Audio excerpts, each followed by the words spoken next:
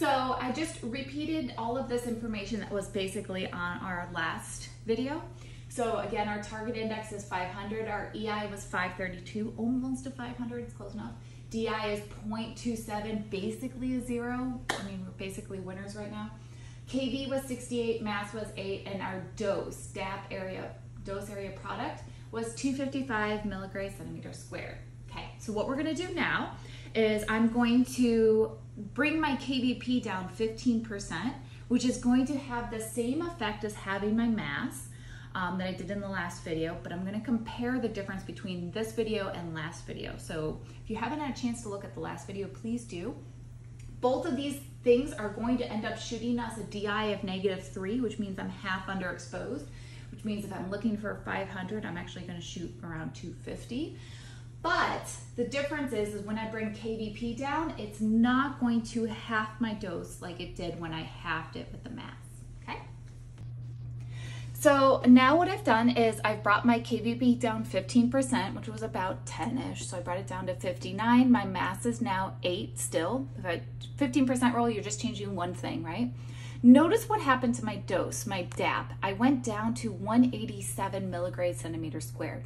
My EI went to 234. Remember I said I was gonna go to about 250, which brought our DI to a negative 3.28, just a little bit below that um, DI of negative three that I was shooting for because our EI is a little bit lower than I wanted. I wanted 250, I shot 234. It's pretty close, right? It's gonna count, but let's go to the board and talk about this more.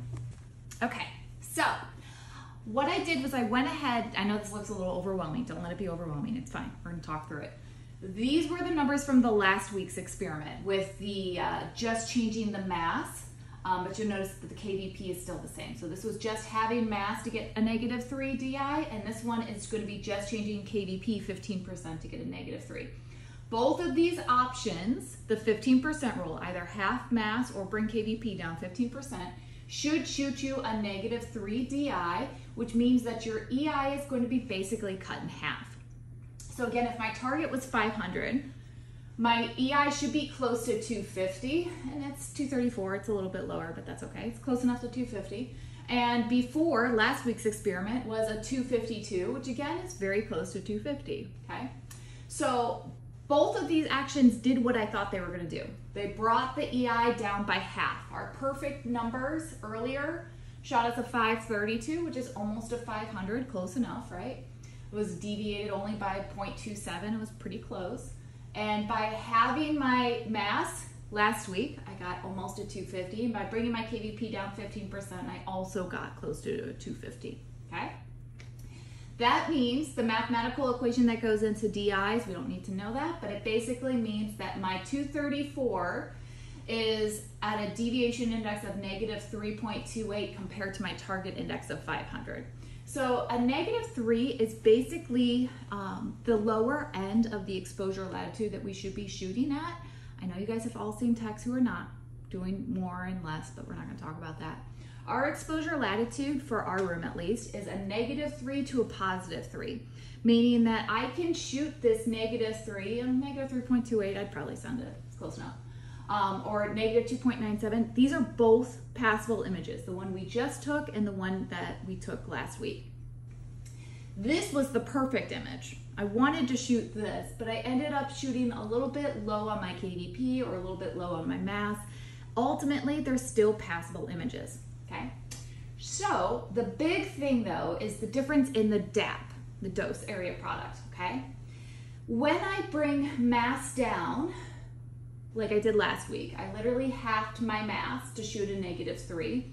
Look what happened to the dose. It literally got cut in half, right? So 255 divided by two is like 220, 227-ish, right? 118. I literally cut my dose in half because instead of throwing eight balls at the person, I'm throwing four balls at the person. So I'm literally having how much mAs I'm throwing at the patient, right? So I shot a negative three. I'm half underexposed because I was supposed to throw eight balls at them, but I ended up throwing four balls at them, which means my dose is going to get cut in half. Okay. When I changed KVP though, right, look what happened to the dose. The dose did not get cut in half because in this case, I'm still throwing eight balls at them, but now I'm throwing them in much weaker, right? So This one, I was throwing them stronger, so more dose is gonna hit the patient, right? This one, I'm still using the same amount of balls, but they're gonna be a little bit weaker throws. It didn't have quite enough oomph behind them to get to the patient. So my dose is gonna go down because it's a weaker throw, but it's not getting cut in half, okay?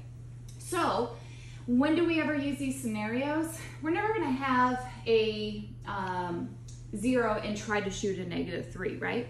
But we are gonna have times when we shoot a negative three. And if I shoot a negative three, do I want to double my mAs or do I want to bring KVP up 15%? Both of those options will get me to a zero. One is better than the other. If I shoot a negative three, what I want to do is bring my KVP up 15% because do you see how it didn't double my dose? If I have a negative three and I double my mAs, I will literally double my dose. Both of these options are gonna get me to a zero. But if I have a negative three, the best option is to bring KVP up 15% because I'm not gonna double my dose to the patient.